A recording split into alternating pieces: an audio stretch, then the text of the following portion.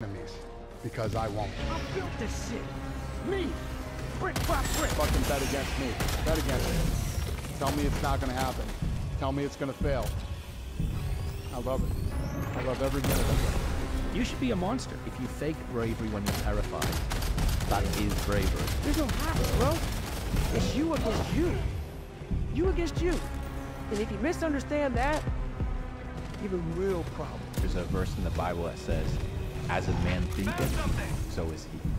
So whatever you're thinking about, that's who you will become. Hmm. Because thoughts lead to actions. Actions lead to habits. Habits lead to lifestyle. And that lifestyle is what dictates who you are, brother. If you want to be great, you want to be the best motherfucker ever at what you do, you're going to be misunderstood by everybody. Because you're going to be so fucking obsessed and so driven to get there. That's what it takes.